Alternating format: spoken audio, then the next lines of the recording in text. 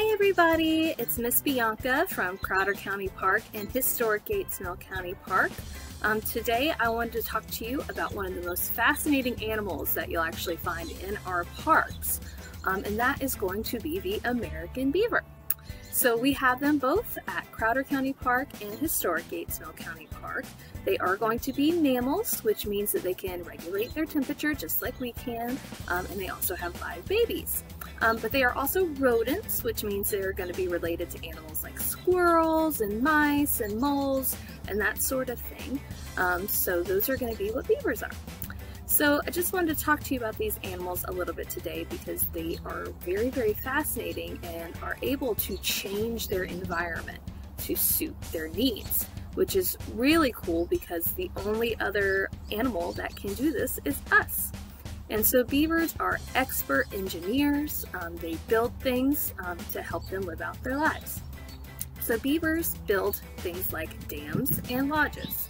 So dams are going to be consisted of twigs, um, leaves, and mud, and that sort of thing so they can build it up and dam up an area.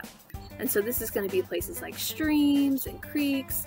And what they're doing is they are damming up an area to create a wetland or a pond.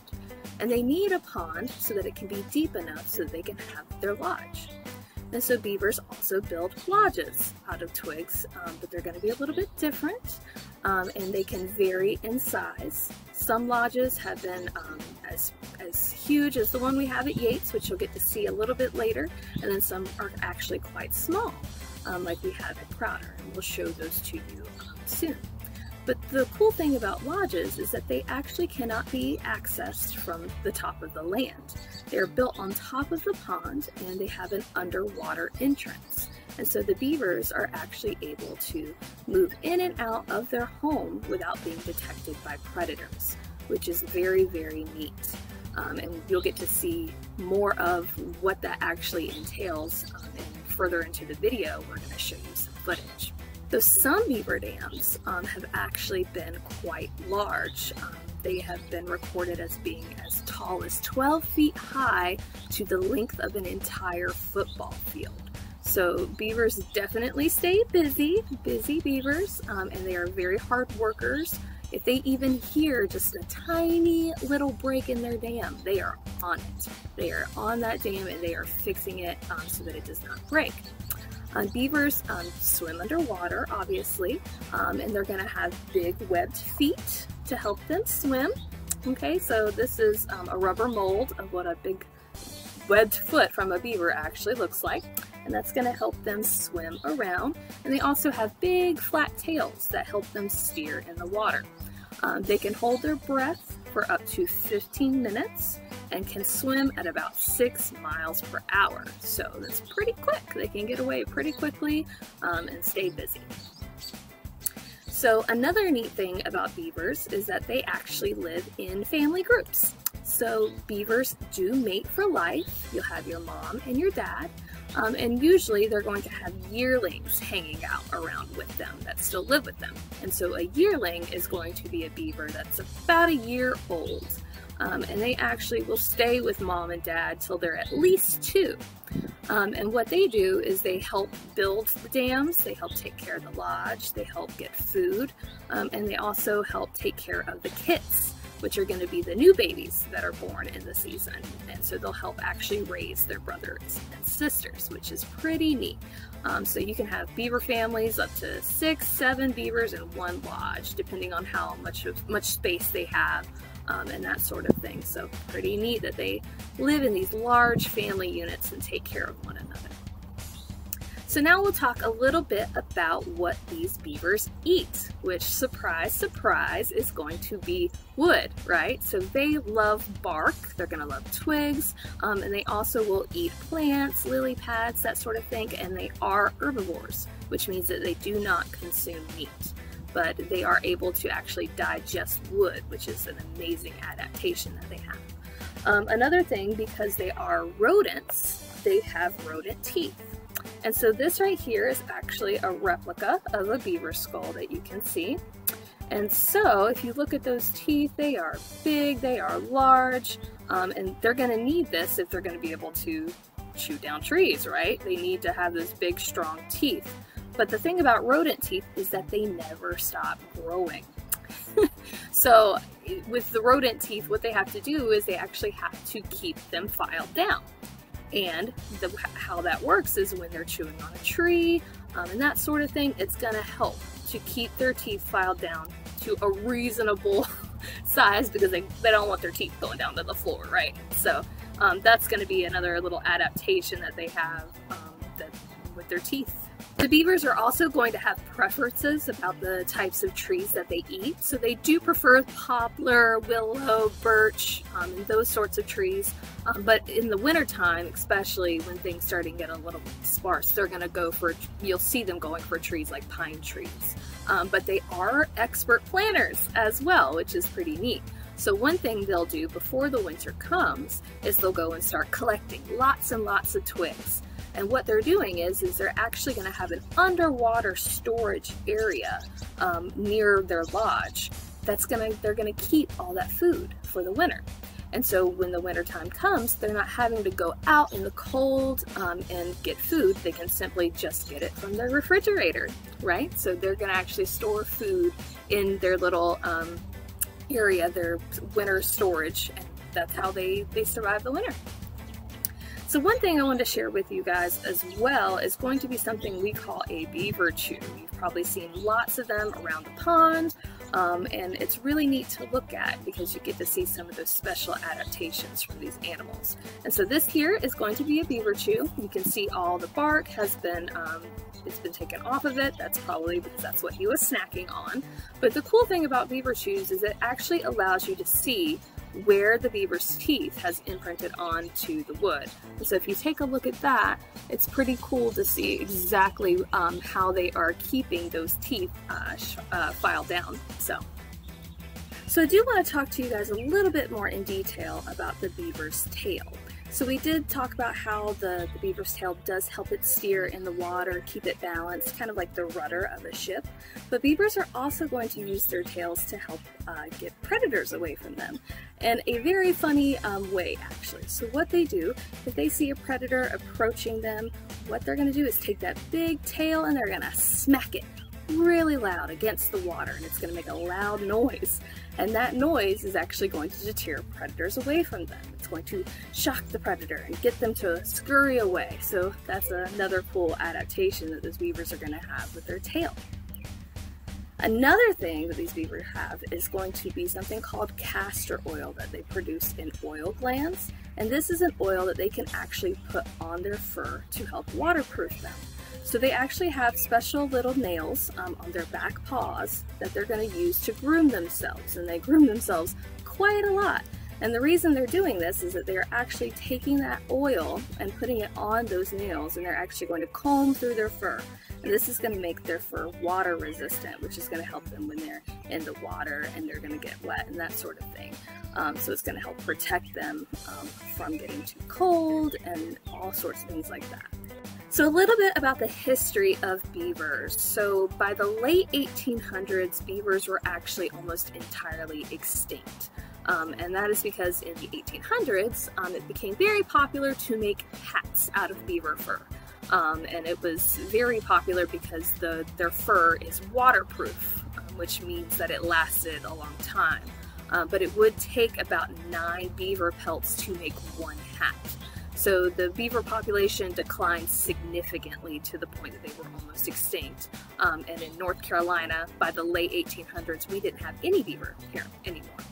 Um, but then in the 1930s, we um, received 29 beavers from Pennsylvania that we reintroduced into the area. Um, and they recovered, and now we have beaver in all 100 counties in North Carolina. Um, and similar things were done um, throughout North America. And so now we have 15 million beavers um, in North America, so their numbers recovered significantly. Um, and then we also, because of this, they create habitat for lots of other animals like raccoons, um, ducks, all kinds of birds, deer, all the animals that you would see around our, our ponds. Um, and so what happened was is that animals like wood ducks, whose numbers had also been declining, um, they started to their numbers went up because of the reintroduction of beavers and the reintroduction of wetlands. Um, wetlands actually in 50 years, the percentage of wetlands that we had in North America doubled after the reintroduction um, of beaver. And so they're very, very important for the habitat, for these other animals. They help improve water quality and prevent erosion. So it was very, very important and it's wonderful that we have so many now um, to help us with all those things. All right, everybody, so now what we're going to do is learn all about beaver adaptations and all the things that they have to utilize to survive in the wild. Um, so we're going to do a part of our beaver program, but I'm going to do it here in my home. Usually we'll have a human assistant to help us with our Build a Beaver, but today we are going to have a special guest, a Basset Beagle named Bubba. So please enjoy is Mr. Bubba. Bubba is a Basset Beagle, but today he's going to turn into a beaver. So he has his first layer of fur already, don't you, buddy? Yeah. And then he's got his little second sweater on um, for his second layer of fur that beavers are gonna have to help them keep warm. And it's gonna be a little bit thicker, all right? And then they have Bubba's favorite part, the blubber layer, okay? Come here, Bub. He's got his blubber layer on, to keep him nice and warm for winter. And then he's gonna need something to protect him from the rain, right? And the water. So he's gonna be waterproof now, right? He's gonna use his castor oil on his fur to help keep him dry, all right?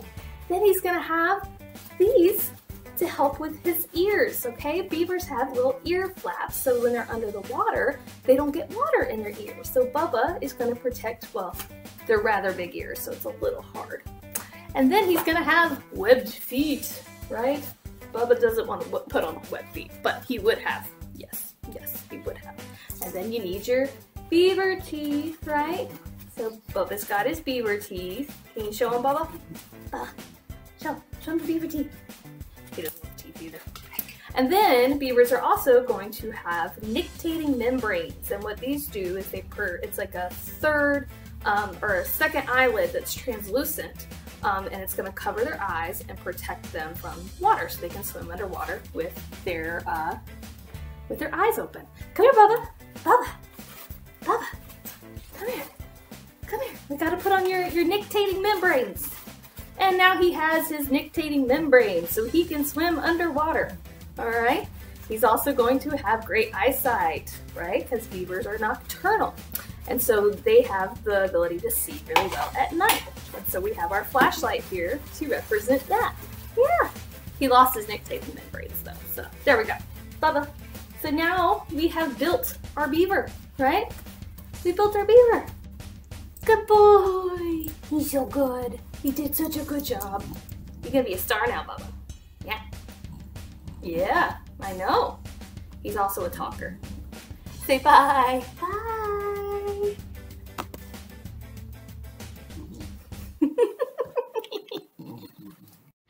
You're going to get to see some footage from our actual parks. So we have Jack Singley, park technician um, over at Historic Yates Mill County Park, who's going to show you some of the footage from the lodge there.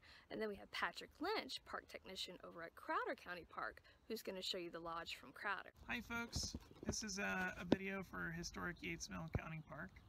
My name's Jack, and we are talking about beaver lodges today. This is the beaver lodge that's active right now at the end of the creek uh, entrance to Yates Mill Pond.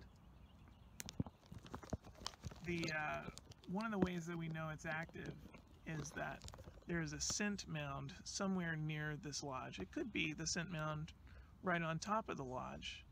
Um, how do I know it's a scent mound? Well, I can smell a strong smell of beaver right here. What does a beaver smell like? Well, it smells strongly of urine. So that lets other animals know, hey, this is my beaver area.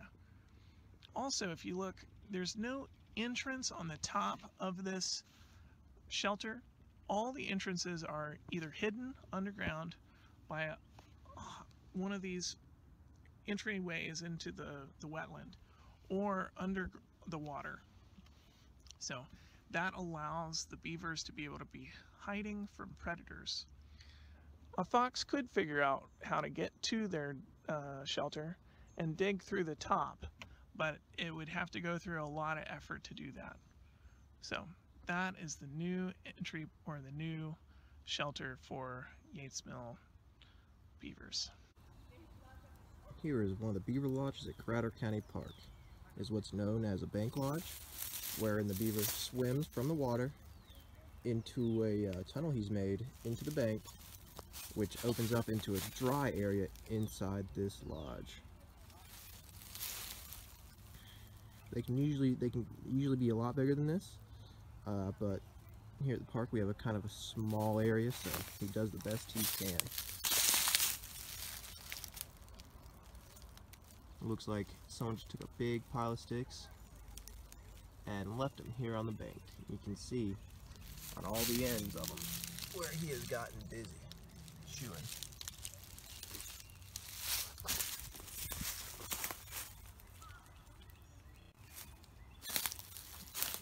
Here is a back door entrance to that same beaver lodge.